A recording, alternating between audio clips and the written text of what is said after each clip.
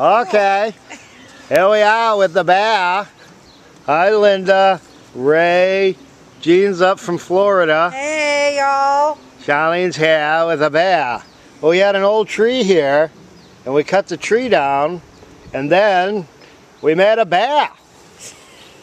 It's a bear with no hair over there. His name is Poopy Bear. Poopy bear. Hi, Poopy Bear. Charlene, say hi to It's Poopy hi, Bear. Poopy Bear. It's a poopy bear. Poopy He's Bear. a boy. He, he doesn't poop, and he doesn't eat, and he doesn't scratch. He's a nice bear. He's a nice bear. Yeah. And I've seen many bear, but this one's one of the nicest bears I've He come across. He doesn't bite. Ah!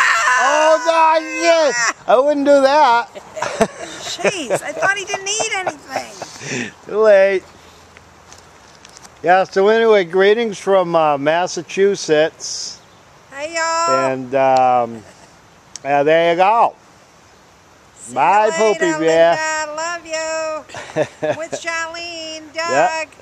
Yeah, we'll, uh, we'll send it right off to you. Okay, now we can stay Uh-huh. now.